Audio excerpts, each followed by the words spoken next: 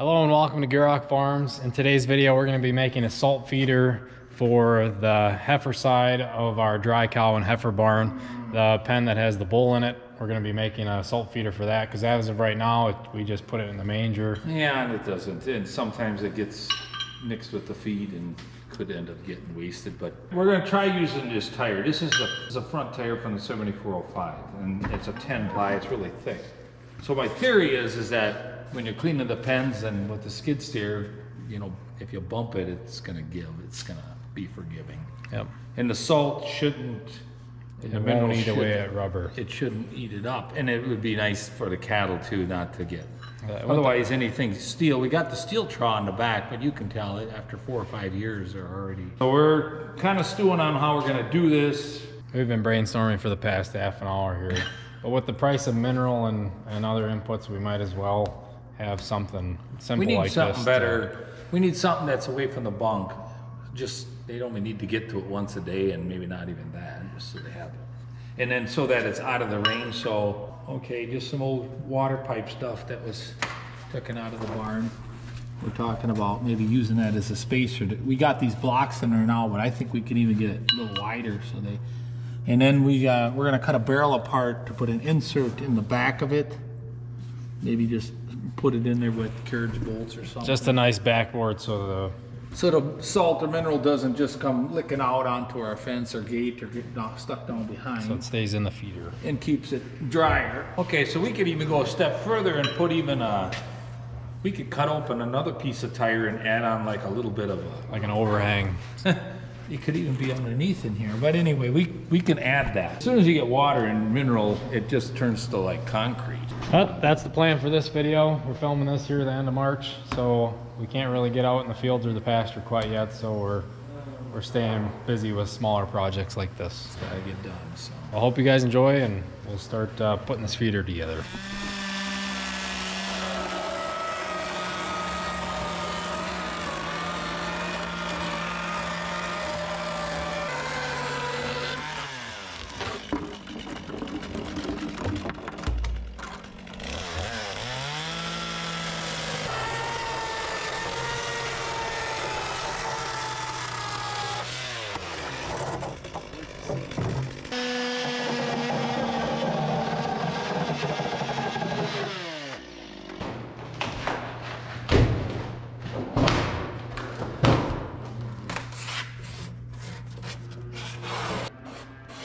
Can cut away the excess. I can trim it out of there. Okay, we traced out uh, the backboard and now Dad's gonna cut it out with the saw.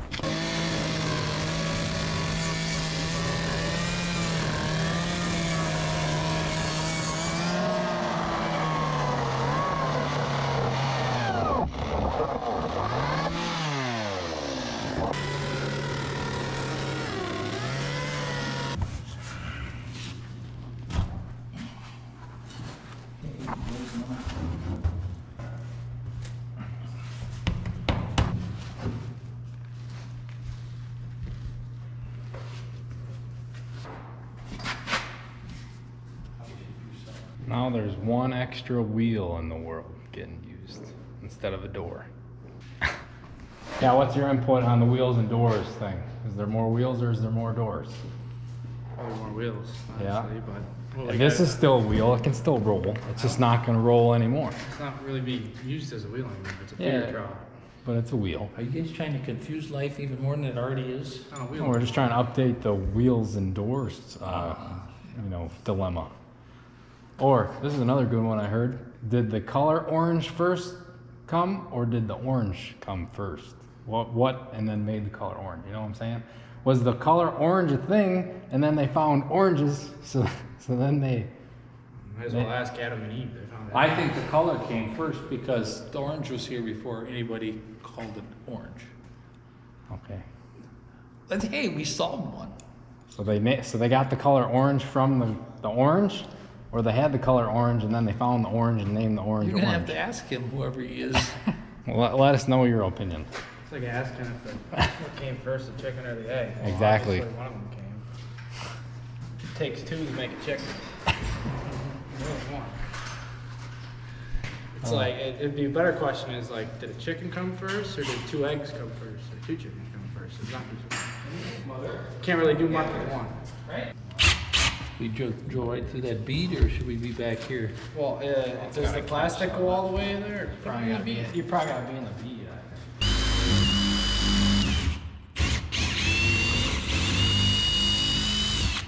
Sponsored by what, Titan, or Titan's gonna sponsor this one?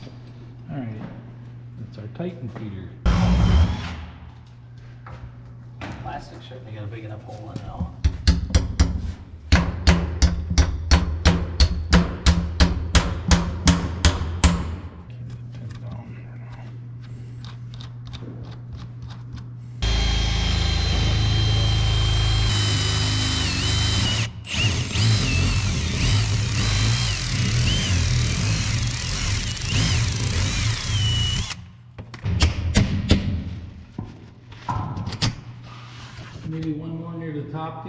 Can just drill them all.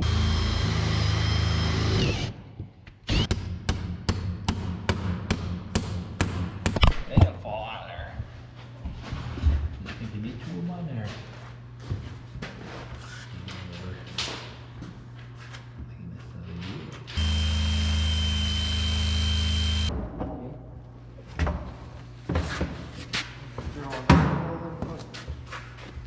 Okay, an update midway through here.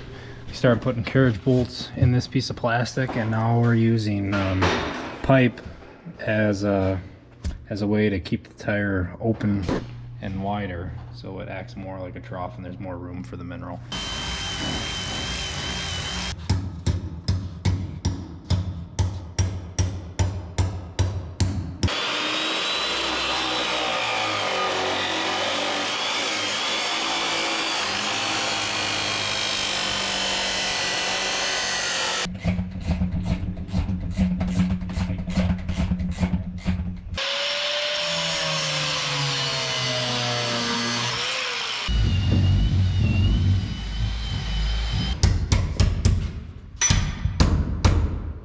Another update, uh, we got all three of the pipes in there now. So now there's a nice wide opening and we got plenty of carriage bolts for the backboard to help hold that in.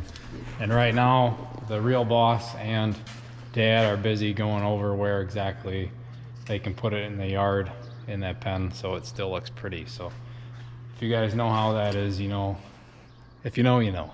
Anyways, pretty soon here we'll be uh, trying to dream up a way of how to mount it in the, the bullpen. All right, they got a rough spot picked out. So we're gonna use a skid steer and get that tire up there in the pen.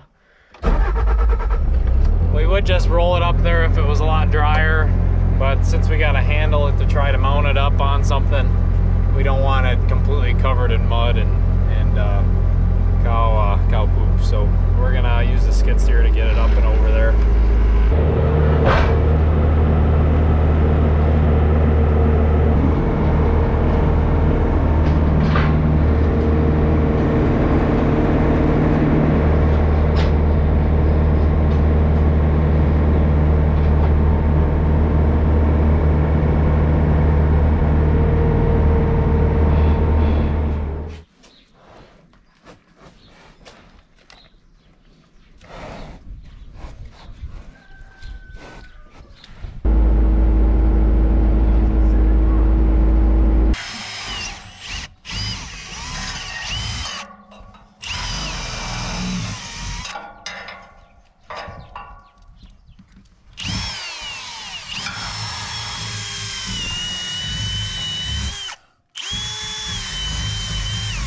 You know, I think we're having some great family bonding time. Think so? Yeah.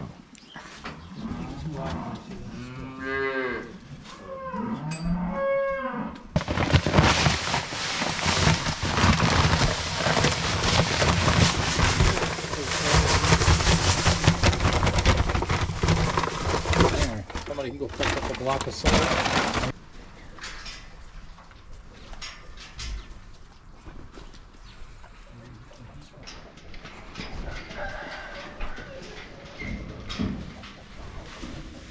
So we just let the bull back. We had him uh, gated back when we were working on that salt feeder.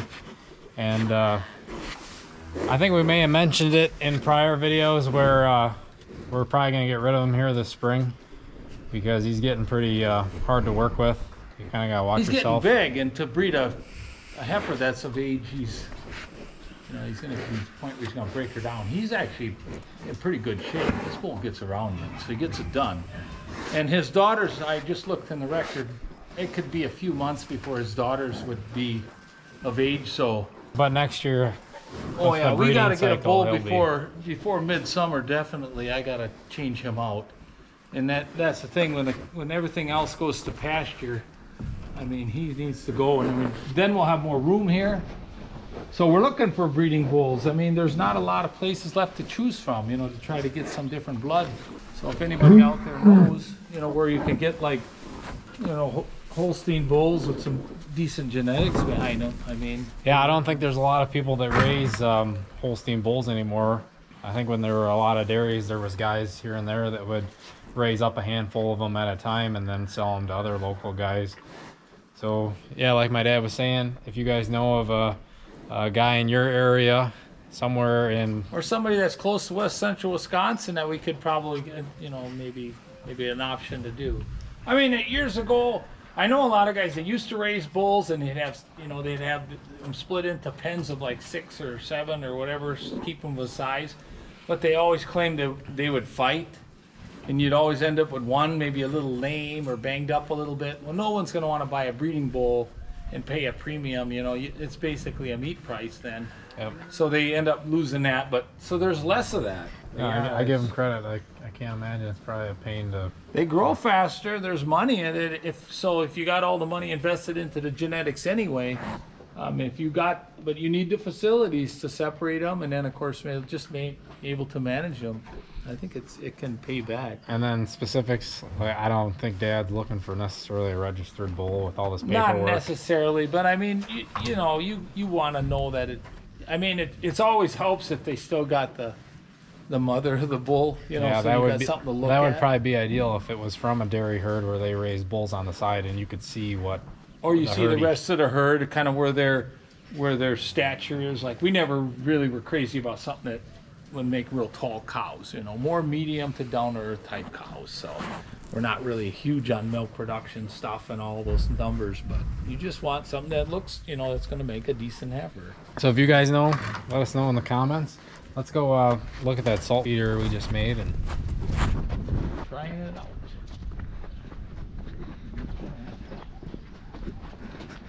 yeah, he's already kind of treating it like a toy. So Oh. And that's why we that's why I was very firm about bolting this thing down good. But the best part is is uh, whatever's bumping or scraping up against it, it's not going to end up being a. I mean, but that's the thing with bulls like this; they like to really throw their weight around, literally.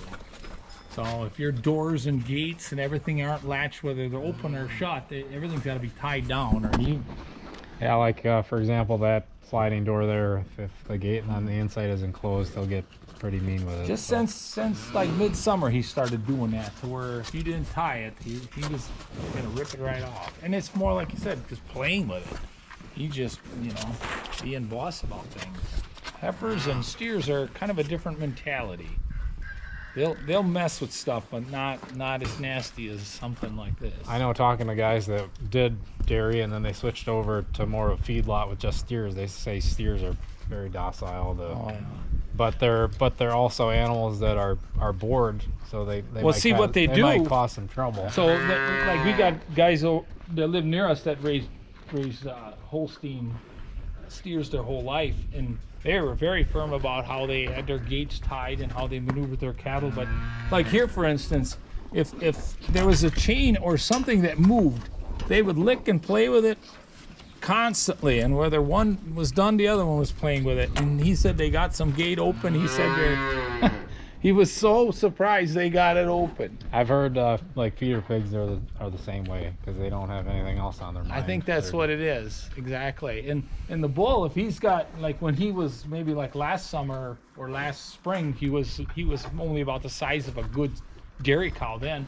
And if he had breeding to do, you know, like one or two a week, he was just kind of like, okay, I'm tired now. I'm gonna go. He was mellow. He He was wasn't. mellowed out.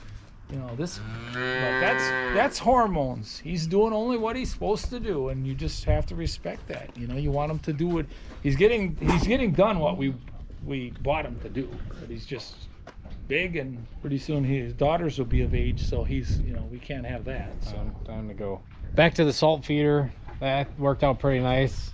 It uh, got a little complicated midway through the project. Everybody had their ideas, but uh, Well, that's the thing. It's, it's and that's all good, but eventually you just gotta, you know, you gotta kind of. I think we're gonna build another one for the other side because we got more of these, this material lying around, basically uh, byproducts of stuff, or you know, them barrels, these wore down tires, and it'll be interesting to see how dry it stays. You know, because the top of the tire acts as a roof, and yeah, we did uh, push the top out further than the bottom. So we could add some sort of little shield, but I do think if we try to put something on there, they're gonna really mess with that even more. You know, so if it works good here, we'll put one on the other side, and then we got uh, for the dairy cows over there. I mean, we could, yeah, it's just bolts, it's simple hardware, and they and it's gonna go faster because now we got a, something to follow. We Yeah. realize how it works, and and it's it's nice and slim up against the gate. So with the skid steer, it shouldn't be an issue. And even if you do bump it, it's rubber. And Yeah, that's what I like. And then especially like when he's trying to breed something, they scrape up against it. Well, if you have something made of iron, there's no give and and then that stuff too, the salt really raises havoc with those type of things. yeah, this shouldn't You can't beat it. You know, that's you, it's farmer what? Innovation. Yeah, farmer innovation or something like that, I guess you could say. But, anyways, also let us know in the comments what you think of our salt feeder. Let us know uh, what type of uh, salt feeders you guys have on on your farm or mineral feeders. We'd be interested to hear about them. Or uh, you could send us pictures on our social media pages. We'd like to see them. And uh, if you want to see more of us, you can you can find it there as well. Um, we also got a PO box. Wanted to mention that here at the end of the video. And uh, any last comments from Dad? It's been a good day. We got some projects out of the way and it's nice to work with you boys, you know, and I think you guys are learning a lot. I, I realize you're you're starting to appreciate more that you know, because someday I won't be here or I'll be off doing something else and maybe you'll be running this place and you got you know that way you got your experience. You know, that's where you learn it. Enough of that sentimental stuff. anyway, anyways, Well, we got to do it when we're here. Anyways, thank you all for watching, and uh, make sure to check out our other videos.